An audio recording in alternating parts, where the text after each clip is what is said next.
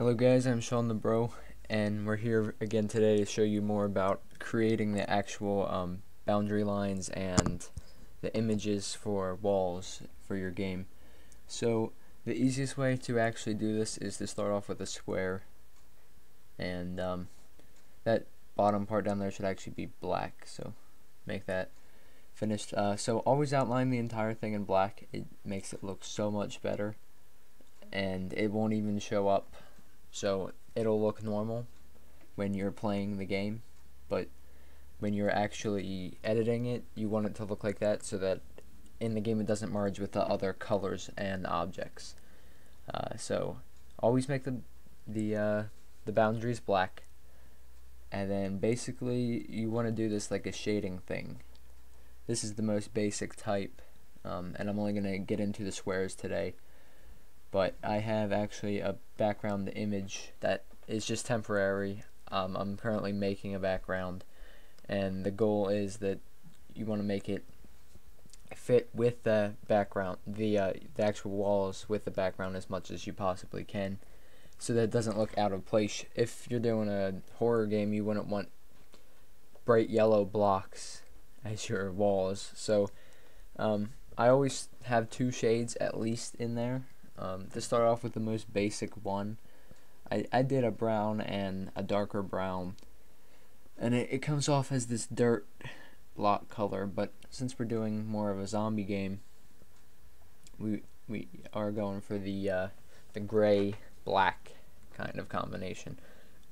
So basically, open up your room and uh, place them in here. Oh, got to create the object first, of course. I'll just duplicate my other wall.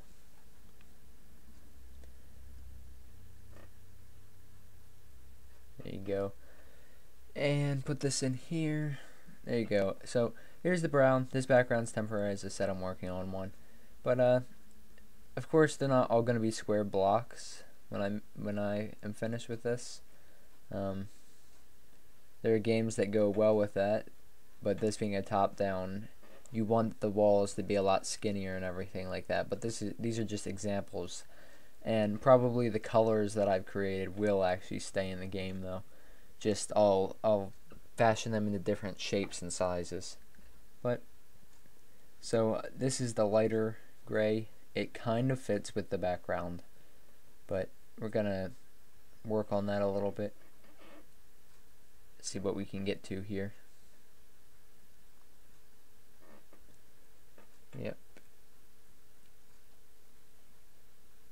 So I I would focus on getting the squares done first, and then get get the other sizes and shapes done because if you get the if you try and do anything but the squares first, you're not going to know if you like it, and it's going to take you a lot more time.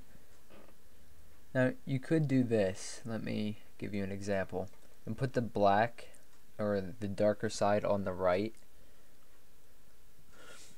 I don't know if it's just me, but that always seems to look worse in my opinion. I always like the darker side to be on the the bottom left or the left portion of it. See if you put this in here and you can put it in different places. Um it it just I don't know, there's just something about it. It doesn't look like an actual block. If you look at the other blocks, they look like there's a real light source that's going off of them or that you're seeing it from a certain angle. So now let me show you what happens when you change it back to the original left darker right lighter. Um, so let's let's do this. Oh that's not what I wanted. Go back a second. I want to select a darker color. Here we go. Yep that. Now we can make this a little bit darker. Make this a little bit darker as well. There we go. And then when you put this back in here, it should look, um, of course we already have the object, it should look more professionally done. There we go, I like it more already.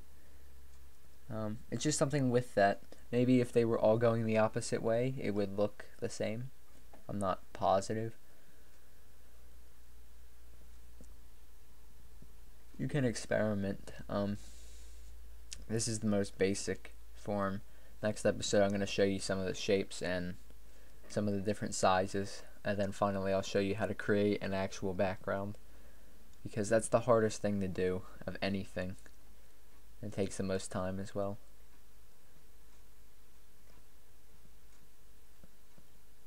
So, get all of these in here. I'm just placing them anywhere so you can see the different colors and shades of the gray and the blacks. And if you see, this one's pretty close to the actual coloring of the background, the temporary background that I have right there. So this would probably be a good one to do some of the shapes in, some of the uh, the actual walls. If you see the the walls that are Im imprinted into the background, then those would be exactly what I'm talking about. That's what they could do for. And as I've said three times now, it's temporary, so maybe all of these colors will be changed and I'll go with a whole different theme. But the point is that the blocks are made. That's the most important. So let's make one more. And one that actually is my favorite is if you do completely black and then a really dark gray. Um, I just really like the look of it.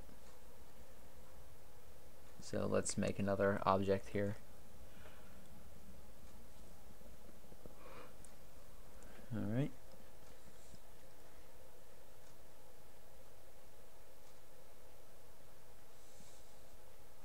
There you go.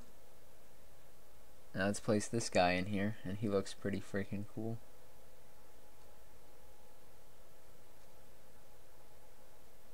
Um, and I keep placing blocks there, and apparently if you hit undo, it doesn't undo it, but okay. So, of course, in case you don't already know, the snap X and the snap Y will change how mu how far each block goes, so they won't snap into place like it thus the name, but um it'll make it'll give you more freedom, which you'll want later, but for for just testing this and showing you what to do, that's not too important. Um, let's place a few more. Let's uh, liven this place up. I want to make this look nice.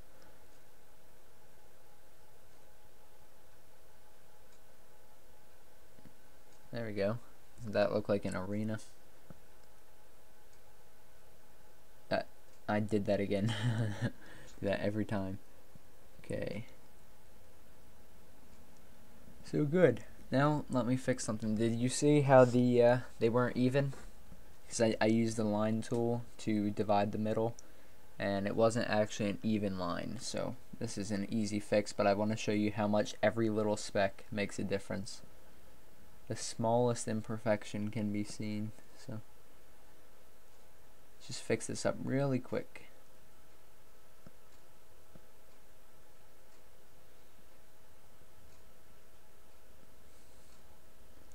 and actually by doing this we're going to run about too short from the end. But if you watch if, you watch that looks annoying from there. But if you try and put the browns back here we go. Try and put the browns back though it's just uneven. And then you'll you'll see that it'll look better without them. Or maybe your preference your preference is to have them there and that's okay. Personally I I like it better without them. Um, it just all looks good in the end.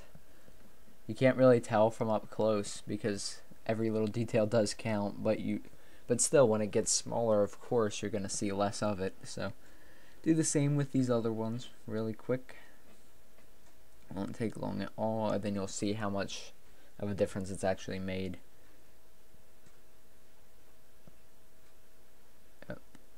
Yep, here we go. So alright block 3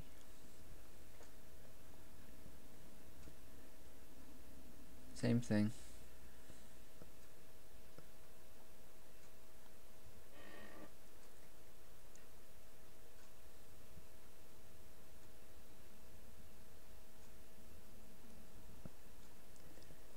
it's a perfect diagonal line. And last but not least, the black block.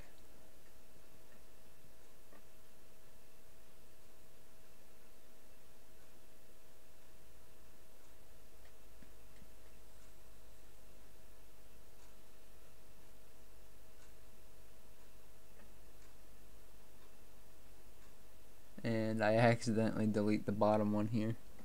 Whoops. And I was like, oh wait, you gotta keep that black background. Hold up. Then I'm trying to figure out why.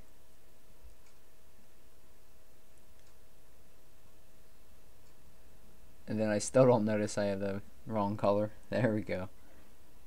Fix that up. And now let's look at it.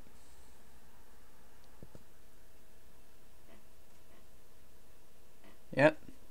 Now that looks so much better and so much uh, even. So, thank you guys for watching this video. We'll get into more advanced ones next time. If you enjoyed, please rate, comment, and subscribe, and I'll see you in the next episode. Goodbye, guys.